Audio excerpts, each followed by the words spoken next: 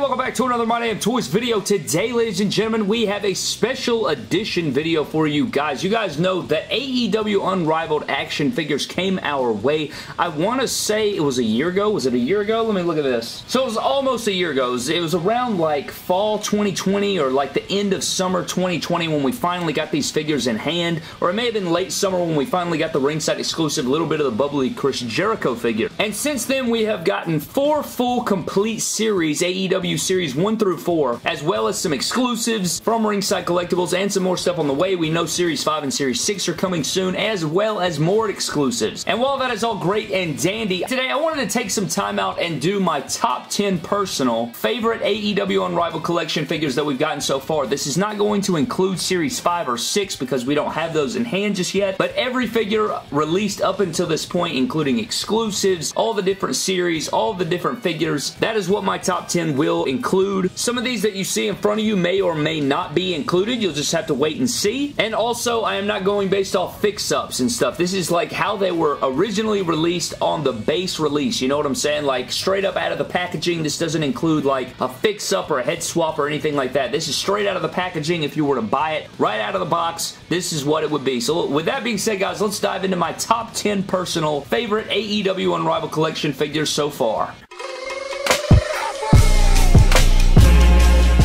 So coming in at the number 10 spot, guys, I'm going with AEW Unrivaled Collection Series number 3, Nick Jackson. Now, I think that Nick is the more superior figure over Matt. You guys know that I don't really care for the head sculpt on the Matt figure, but I really enjoy the Nick. I think that the attire is great. I think that the Series 3 Bucks are excellent. I love the gear that we got. I love the, the fabric tassels that we got going on, and this, this really sets the standard moving forward for future Young Buck figures that we're going to be getting because of how great this is. I don't think they've yet perfected Nick or Matt Jackson's head sculpts. Like, Matt Jackson from Series 1 was great in the head sculpt, but I think they haven't perfected both of them just yet in a same set. I'm really waiting on that. I think once we get that, it's going to throw these guys over the top, but this gear is sick. The fixed skin tone from Series 1 is sick, and I love the Nick Jackson from Series number 3.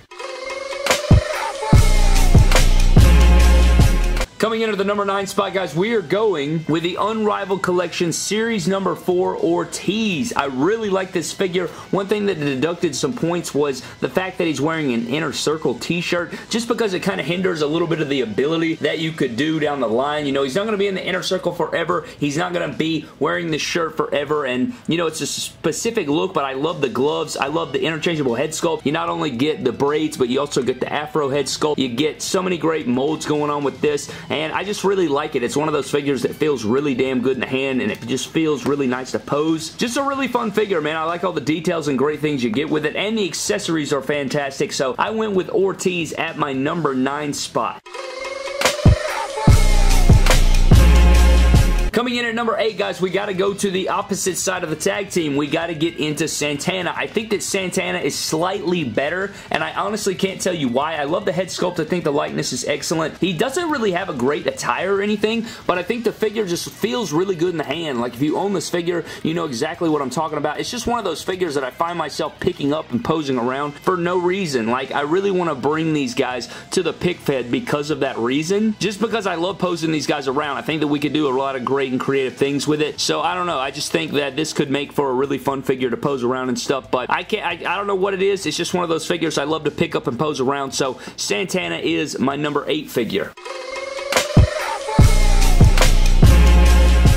Coming in at number 7, guys, we have our first Cody figure. We have the UK exclusive AEW Basic Ring Cody figure, and it was a really hard toss-up between this one and the other Codys. The Series 1 has the skin tone issue. The Blood Brothers is really excellent. Even the Series 4 is really great, but I actually think I like the skin tone of this Cody better than the Series 4, and I just love this gear. I think this is the best gear we've gotten for Cody so far. Even though his Series 1 gear is awesome, his Series 4 gear is awesome, the TNT Champion you know, exclusive from ringside that we're going to be getting is great, but I just love these boots and the silver, blue, and red with the white weight belt just really brings it all together, and I just I just like it. I don't know if the, uh, I think the Chase variant Series 4 is freaking fantastic, but I don't know if I'll ever track that down. I think the Series 1 Chase variant is also great, but I don't have those just yet, but I just like the skin tone and the attire of this Cody, so I had to put him here at number 7.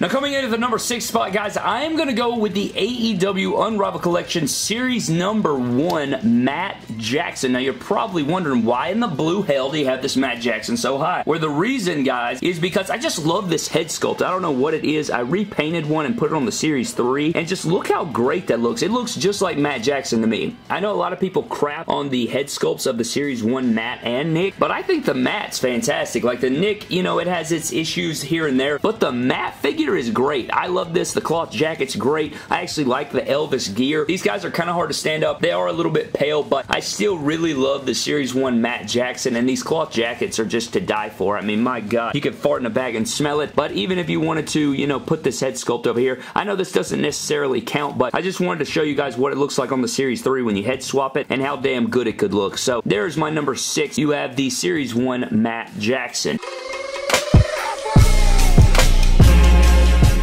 Coming in number five, guys, we are going with Unrivaled Collection Series number two, Pentagon. Now, this one is great. The details are great. I just love everything about it. I know we didn't get the interchangeable head sculpt, so we didn't get the interchangeable hands we would like, but just having a Penta like this and the interchangeable hands, the tongue-out head sculpt, all the details, the mask, I mean, it's just a great fit. Like, this guy is a guy that's just, that just looks beautiful in figure form, you know? He's so toyetic, if you will. His, uh, his just, his presence in figure form is untouchable, really. I mean, it's just such such a great figure. I know a lot of people say that he kind of gets loosey-goosey on him, but and the forearms may be a little bit flimsy sometimes, but overall, this figure just looks and captures Penta, and it's just beautiful, man. This is an excellent figure. This is one of their best ones they've made to date, and I think a lot of people would agree with that one. Let's go ahead and slide these down here so we fill up the frame of pro God in heaven.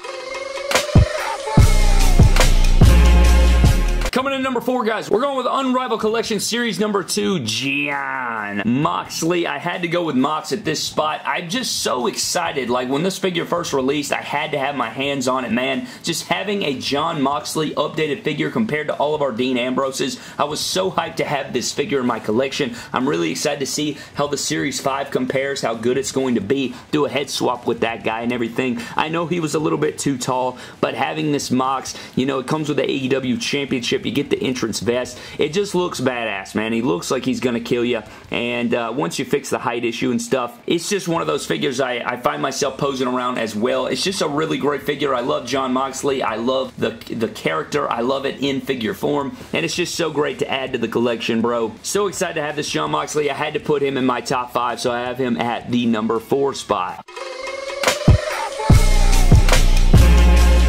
Getting into our top three, man, this is the cream of the crop of these AEW Unrivaled figures. Number three, man, I am going with none other than the TNT champion at time of recording, Darby Allin. Now, I think if anybody owns this figure, you know how damn impressive it is, man. It's just one of those figures that just feels absolutely fan-freaking-tastic in the hand. It just poses around so great. It gives you a wide range of ability. Like, he just he just feels great, man. He's just one of those figures that you just want to, like, I, I don't even know how to explain it. It just feels feels excellent in the hand. The attire is really unique. The Chase variant would be freaking amazing. I wish I had the Chase variant figure, but the Darby Allin is untouchable, bro. It really is so damn good, and just the double jointed arms and all the things you can do with it, it is excellent. It is just simply excellent. There's not a thing you can say about it. The Darby Allin is just untouchable. He is at the number three spot.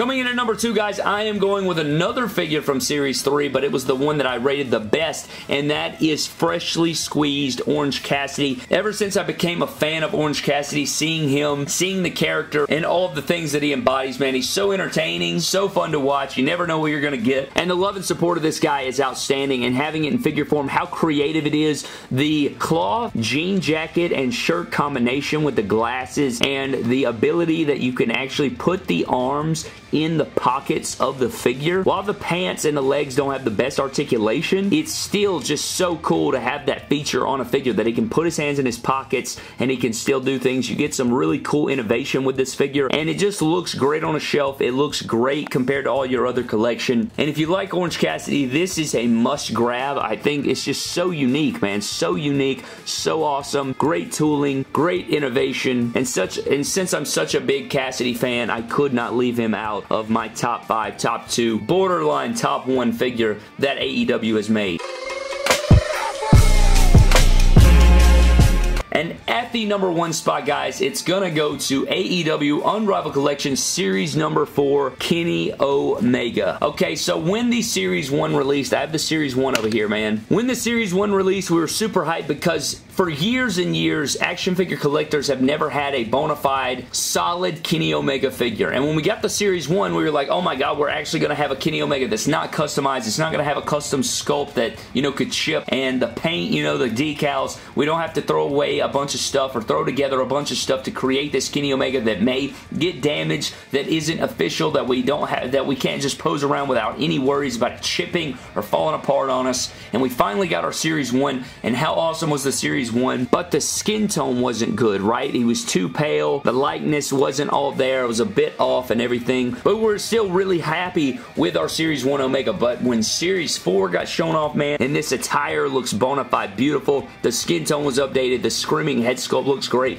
He's got his shooter hand. He's got his entrance vest. This figure right here, until we get more Kennys with better likeness, with better facial expressions, with better attires, this right here is just elite, man. It is just perfect perfect in every way. I love the Kenny Omega figure. Having an official Kenny to go in our pick feds, our stop motions, figure photography, just having one that's not custom made is just so huge for me. So it was no doubt that Kenny Omega Series 4 had to be the best figure that they've made so far, and it'll probably stay that way until another Kenny is made. I don't know how they're going to top this Kenny. Maybe Luchasaurus might take over the spot. We'll have to see when we get him in hand, but Kenny Omega is my number one AEW figure thus far, and we will see how that goes throughout the years. But that does it for my top 10 AEW Unrivaled Collection action figures that they have made so far, man. Let me know what your top 10 is, man. What's your favorite AEW figure? I see Brandi face planted. But here's a rundown again, 10 through 1, guys. Let me know what you guys think of everything down in the comments section below. I think these could go up and down depending on a few things. I think Nick Jackson would have been a lot higher had his head sculpt been better. If Matt Jackson's Series 3 figure had a better head sculpt like his Series 1, he would have been on here and higher. I don't know. There's a lot of different scenarios here, man, but this is what I think is my bona fide top 10. That is going to do it for today's video, guys. Thank you so very much for watching. I hope you guys did enjoy. Before we get out of here, guys, let's get into our random shout out. This shout out is going to go to Red Flame 032 who says, Me, that is a cool Chris Jericho figure. MDT, well, why is it yelling? Because the new AEW Series 6 Jericho is yelling, but we have other facial expressions for our Jericho, so it gets a little bit of a pass. I will like to see a determined or a straight-faced Jericho, but I guess we'll have to wait on that. But a huge shout out to RedFlame032 for that comment on our last video. A huge shout out to you, man. Thank you for watching, but I'm getting the hell out of here, guys. Thank you for watching. Subscribe to the channel. Follow me on Instagram and Twitter, My Damn Toys, and I will see you guys in the next video. Don't cross the line like Series 3 Pac without the damn leg